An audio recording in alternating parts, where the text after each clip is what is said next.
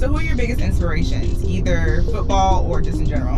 Uh, with me, uh, it's my mom, my uncle Johnny, and my cousin William, like life because them are the three most strongest people that I know of. Uh, they just taught me a lot about